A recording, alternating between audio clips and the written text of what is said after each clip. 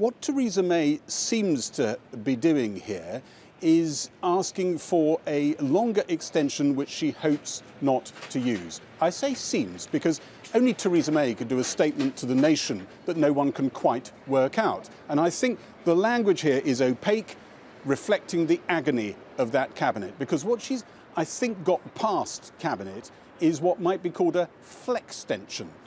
She knows that the EU isn't up for just another little mini extension, and so she's asking can we have an opt out early? Should I get lucky with my dealings with the opposition or trying to get stuff past Parliament?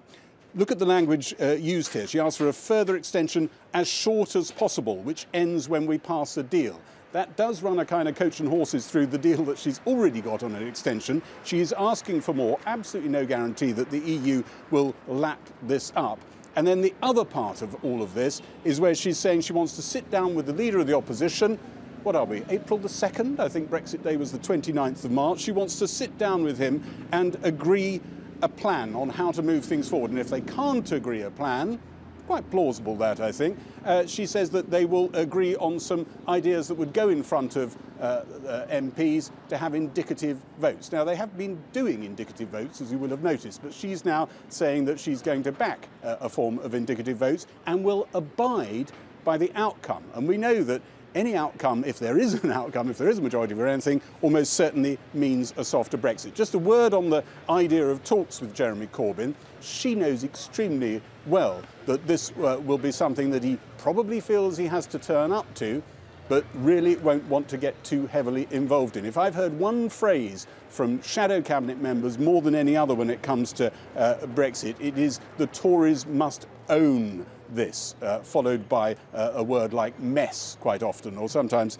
uh, something a little bit more unpleasant. She also knows that Jeremy Corbyn has people on his back trying to get him uh, to go for a referendum, and so this will discomfort him. How genuine is she about the chances of seeking uh, cooperation with him? Well, we'll see. But as I say, it is April the 2nd, 2019. Here's how the day went here. Much of it spent waiting, waiting for that cabinet to end. Shortly after breakfast, they disappeared into number 10 for a cabinet meeting to crunch the government's options. At times it seemed they might never be seen again. It would be more than seven hours before they emerged. While they were locked in, the EU's chief negotiator ratcheted up the pressure, saying there would be hefty conditions attached to any long extension to the Brexit delay that Britain might ask for. A strong justification, a strong justification would be needed. Many businesses in the EU warn us against the cost of extending uncertainty. There would also be a political cost. In any case, if the UK is still a member state on the 23rd of May, it will have to organise the European elections. The Irish Prime Minister visiting President Macron in Paris struck different tones. Mr Varadkar desperately wants to avoid a no deal Brexit. France's president doesn't sound so sure.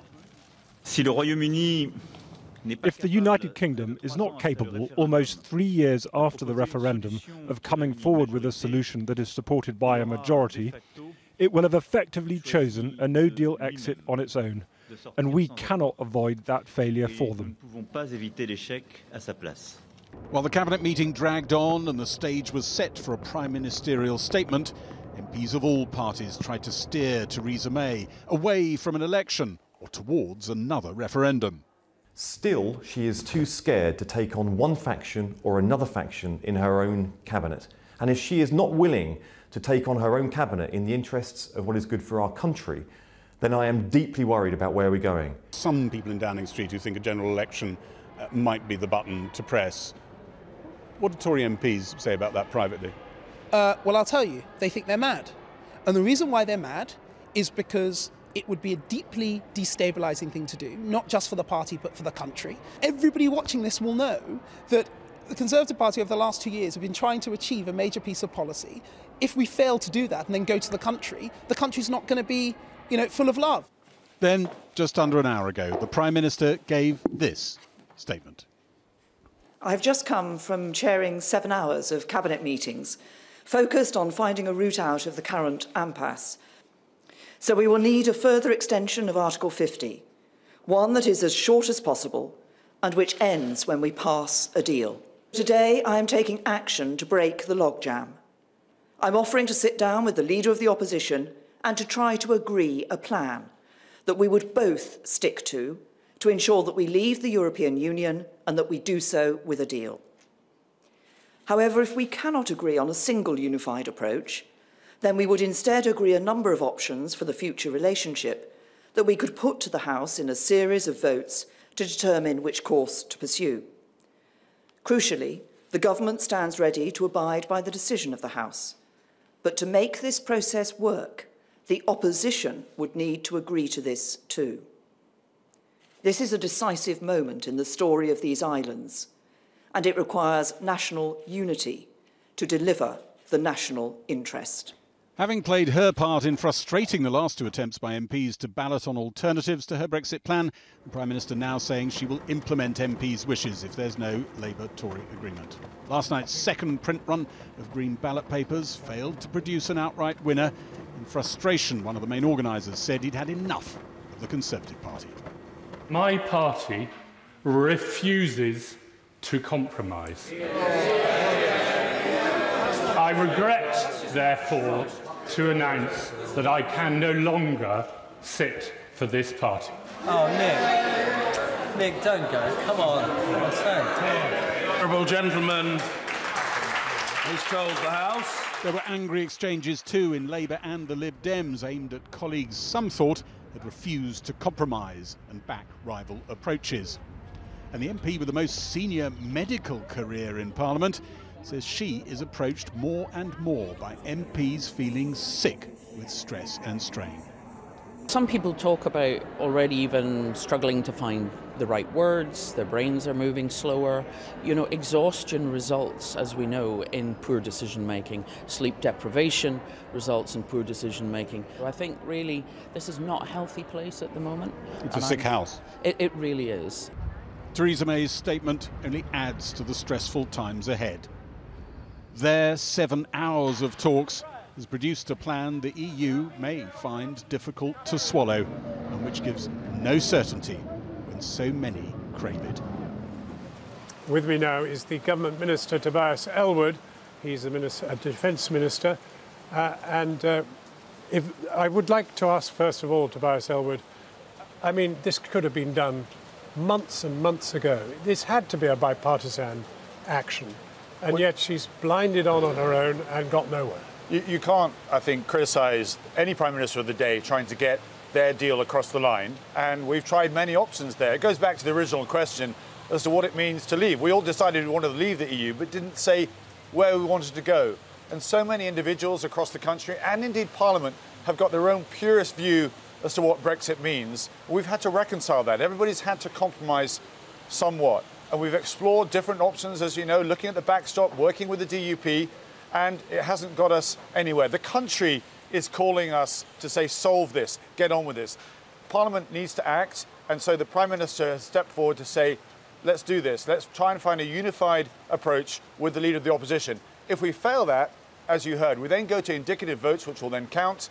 But ultimately, we want a managed Brexit. We want to avoid no deal. We also want to avoid uh, European Union elections. Well, two and a half years of failure. And with 10 days no, to go, okay. 10 days to go, she begs to get the leader of the opposition to talk to her and help her out.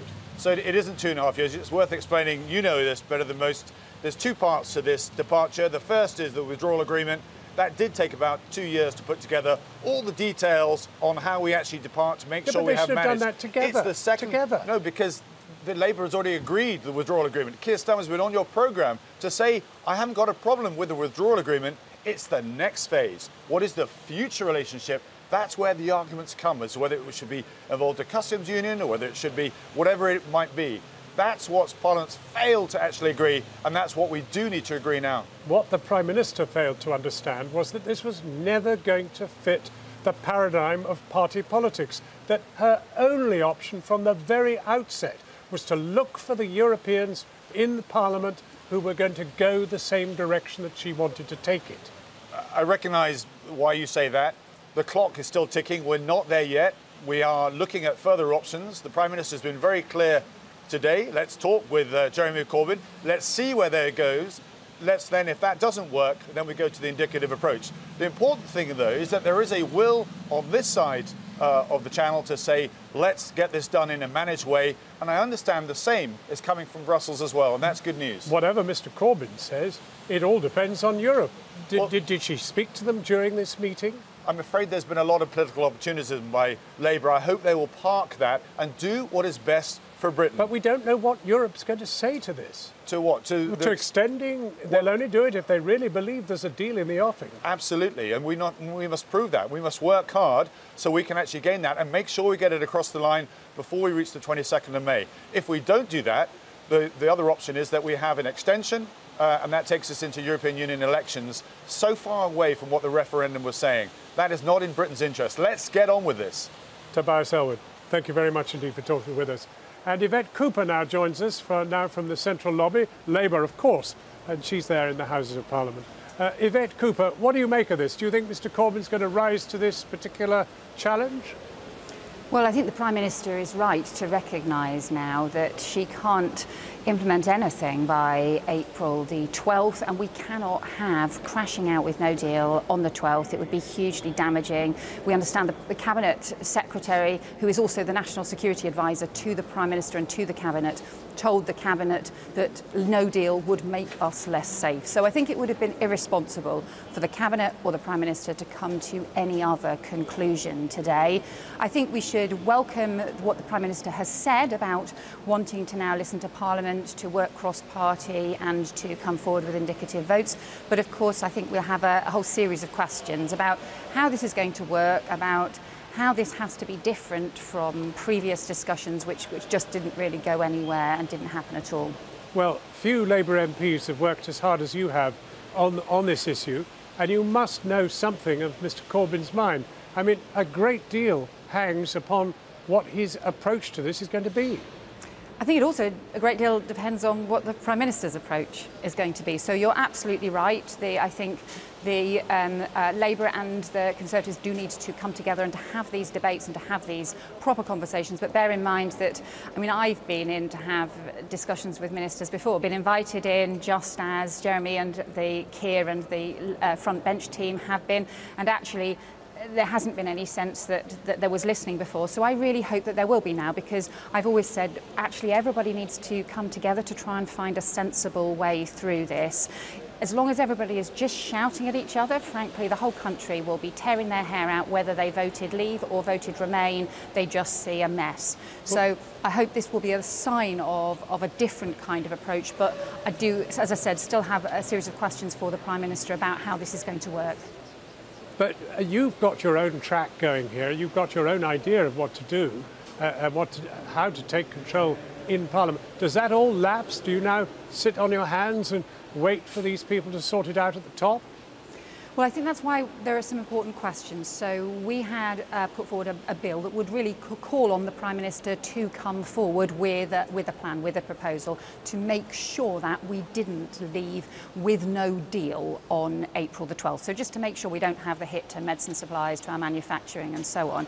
I think the, the questions to the Prime Minister I would have would be about what is the process going to be to decide the length of the extension that she's going to put forward. We could do with knowing that. But also, if the EU has a different response, they say something different in reply, how is she going to respond to that and what say will Parliament have on that as well? We also need to know how the indicative votes process is going to work. So we'll look really carefully right. at the proposals and I hope that this is really moving in the right direction now because in the end there's too much at stake not to. Uh, Yvette Cooper, in one word, do you anticipate Mr Corbyn bringing you into his circle to help out on this crisis? I think that's got to be for him. He's got to decide. I think Keir Starmer is doing an excellent job, and I've had many conversations with Keir, with Jeremy, uh, with many members of the shadow cabinet. But you know, they have their responsibilities as the members of the shadow cabinet. Uh, we also, obviously, whether it's as chairs of select committees, right. as backbenchers working together, will continue to do so and to work with them as well. Yvette Cooper, thank you very much indeed for joining us. More from Westminster later, but for now, let's go over to Matt in the studio. Thanks, John. Well, a short time ago, the European Council President Donald Tusk gave his immediate response, tweeting, Even if after today we don't know what the end result will be, let us be patient. Well, I'm joined now from Brussels by the Irish MEP Mairead McGuinness, who's Vice President of the European Parliament. Uh, Mairead McGuinness, uh, it's wonderful to see you and that you've sorted out your Skype. Um, can you be patient? I mean, this offer today has come three days after Brexit was supposed to take place. Look, it's been a roller coaster day here in Brussels because much of the day was spent wor- worrying and anticipating a no deal Brexit. And then we knew this uh, seven hour meeting was happening, and then this statement. And I have a copy here in my hand, but I need to dissect it. And I think the first thing to say is it, it is positive that the British Prime Minister is aware that a no deal Brexit is really bad for mm. the UK and for the European Union. I think her reaching across the House is, is, is welcome. Uh, and of course, we'll have to see what the reaction will be to that approach. And I hope it, it is positive. Uh, I think the timings I'm a little bit concerned about, but mm-hmm. I'm going to try and, and get over those concerns and look at the pragmatism now. I know in previous interviews, uh, which I've just listened to, others were saying, look, why did this take so long to happen? Uh, we can have that analysis. I'm just glad it's happening now, and I hope it yields a good result. Uh, because I think that there was real concern, uh, given last week's vote, that the House of Commons, that the United Kingdom could not find a way out of this mess. Right. And I hope that this speech will help chart a course towards uh, a resolution and a ratification of the withdrawal agreement. But there are also lots of known unknowns and lots of ifs. Um, do you think that, assuming that there is a meeting with Jeremy Corbyn and they come up with some sort of conclusion, that this will persuade the French, especially, to grant the longer extension that she will now seek at the summit next week? Well, I think the extension she's looking for is not that long, and that's what I'm concerned about because at the moment it's April the 12th, so it's going beyond that. But as I understand it, the Prime Minister wants it to stop before the European election date. So, in other words, that the ratification and all that goes with it will be dealt with before then. I mean, as I as I speak and I think, because this is so it's so new and it's happening literally as we talk, um, the European Parliament will have to ratify a withdrawal agreement. And I'm just thinking about the hmm. timings of that. We will be in election mode. In fact, the last day of the campaign. Uh, so there's all sorts of timing, legal uh, complications, but I think the political dimension is the most significant mm. one. And if the political uh, classes in the United Kingdom can come forward, work together to resolve this crisis, then I think we might be able to resolve the other issues, right. the, the, the, legal uh, and the technical issues. So I do think we need to see what next happens. But well, it is a new development. Okay, well, we're about to hear from a, a leading member of the, you know, the, the Brexiteer side of the Tory party, and a lot of it hinges on them. If there is a deal, do you think that Theresa May can actually be trusted to make it happen? Look, if there's a deal, there is one. Let me be clear. The deal is on the table. I think the question is if it is ratified. Uh, it seems to me ratification will rebuild if trust is broken, as it is slightly at the moment. I think it would give us all that sense of purpose that we have uh, sorted the withdrawal part of this discussion mm. and we're looking to the future. But I do think that her conversations with Jeremy Corbyn, the leader of the opposition, will have to deal with the political declaration. I presume he will look for something around uh, this um, customs, mm-hmm. whatever it is called, in his proposal, and also perhaps um, another referendum to clarify the situation. But again, that leaves us here in Europe a little bit concerned on timing right. and, and I suppose finalisation. But look, this is hot off the press. We have okay. to wait and see, and let's see what the reaction is tomorrow from the Labour Party leader. Indeed. Uh, Mairead McGuinness, thank you very much indeed. Well, Jacob Rees-Mogg has just described Theresa May's statement as an attempt to overturn Brexit in an attempt to do a deal with the socialists. It is very serious, he said. Quote. The Conservative Brexiteer Anne-Marie Morris joins me now from the lobby of the House of Commons. Um, Anne-Marie Morris, it looks as if the ERG, you indeed, have been sacrificed by the Prime Minister on the altar of a softer Brexit.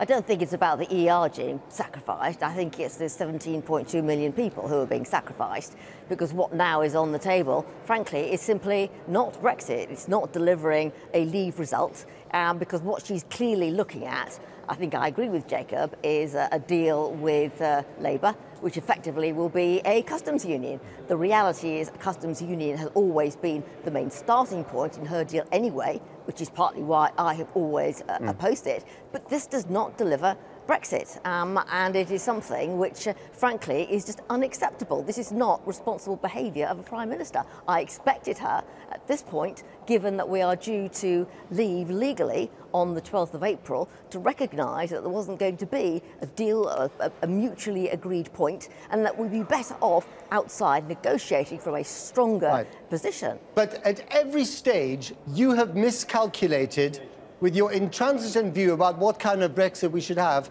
At every stage, you've pushed her further into a corner, and now she's basically turned round and snapped back at you and has decided to go with the other side. Oh, so, I, I think I would uh, hold your fire on that. Uh, we have far from given up, and I think you'll find there are an awful lot of deeply frustrated Conservatives, whichever way they voted on that withdrawal agreement, that frankly will never vote for that withdrawal agreement again. So I would hold your conclusions and just wait to see what unrolls and unravels. There are all sorts of moving parts here. It's partly what goes on in Parliament, and remember, whatever has to get through both houses. Mm. It's partly about Europe and whether or not they will grant an extension. And I think she's a bit hopeful to think that Brussels will give her an extension until the 22nd to avoid European elections. I know they don't want European elections, but we've spent, what, over two years trying to get a deal? We're not going to do that by the 22nd. And if we leave it any later, then we are in uh, European election territory. Right. What you say sounds vaguely threatening, actually, to the Prime Minister, uh, not to me. But um, what are you going to do now? I mean, is the Tory party about to split? No. Are we about to see the split of the Tory party, the ERG, the hard Brexiteers, 200 of whom wrote a letter to the Prime Minister a few days ago saying they would like a no-deal Brexit if it came to that, and the rest of the party. Is that what we're about to see? No, you're not going to see the party split. Think about it. The party is about a lot more than Brexit. And I think one of the challenges for all of us is we need to get this done. No deal, therefore, would have been the right answer. We need to move on to domestic issues. We have to deal with health, education, social but care. But no deal was never on the ballot. No deal was never on the ballot. Uh, yeah, actually, it was. Uh, not on the last one, but on the one before. Uh, on, on the last On the referendum one, was, ballot. Oh, on the referendum. The referendum was simply um, uh, leave or remain. Uh, and in terms of it specifically saying no deal, mm. on the Remain, it didn't say specifically the terms on which we would remain. Okay. Because remember, you know, Europe is fundamentally changing. Accepting Remain isn't about accepting where we are now.